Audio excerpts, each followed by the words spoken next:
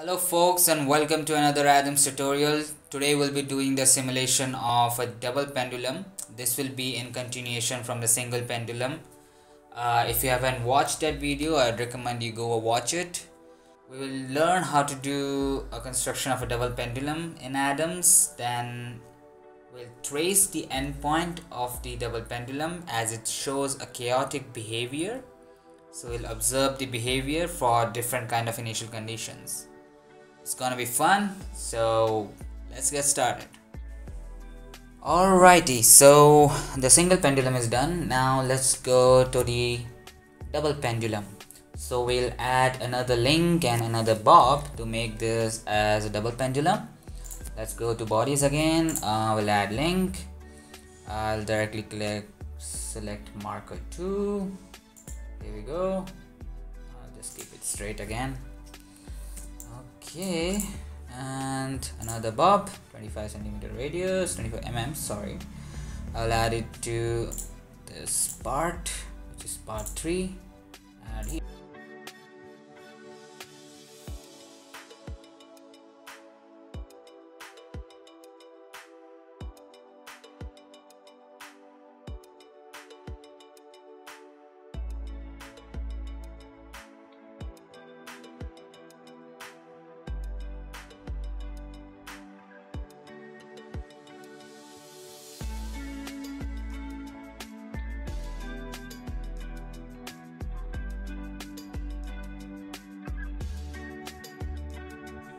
okay so I also need to define the initial joint condition for joint 2 uh, I will just put this to this will be 0, 0.0 yes, uh, rotational displacement.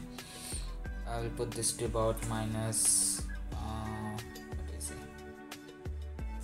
10 okay. This one I think was minus 80 sounds good. Alright let's go to simulation. Let's just check everything is okay how it works. Mm, alright. Looks good. Just just check it once again. Yep. I'll just increase this angle a bit more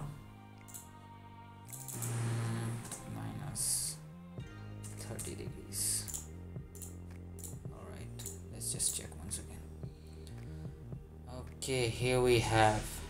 Now uh, what we'll do is that we are going to trace the path of the pendulum. Alright?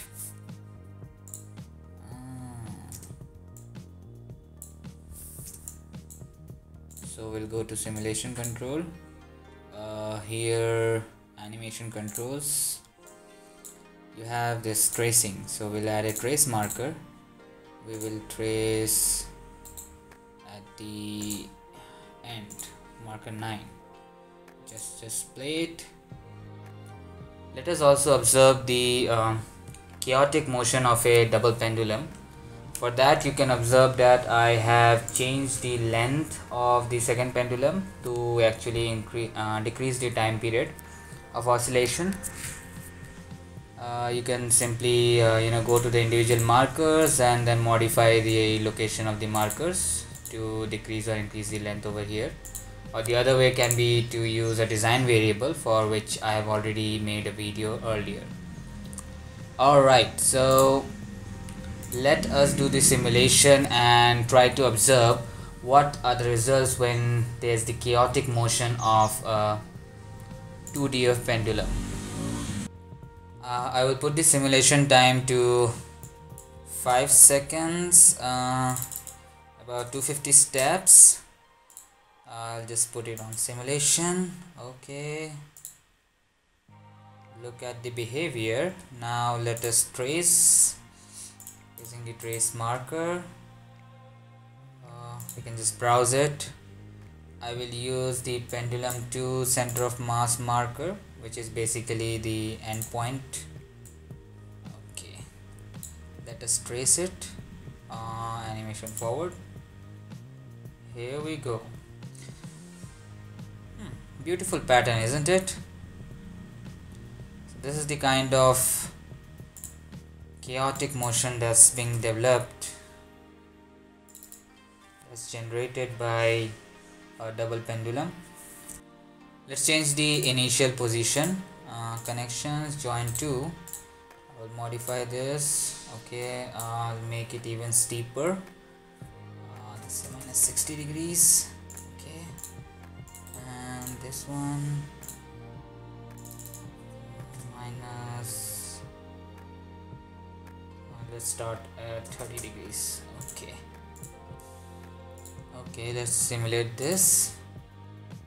Hmm. looks very chaotic. It's changing its path now. Let's see what it shows when you trace it. Ah, beautiful pattern isn't it?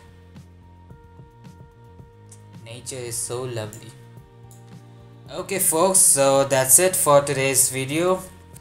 Uh, i hope you enjoyed it. Uh, we'll meet again in the next tutorial of adams. Until then take care and peace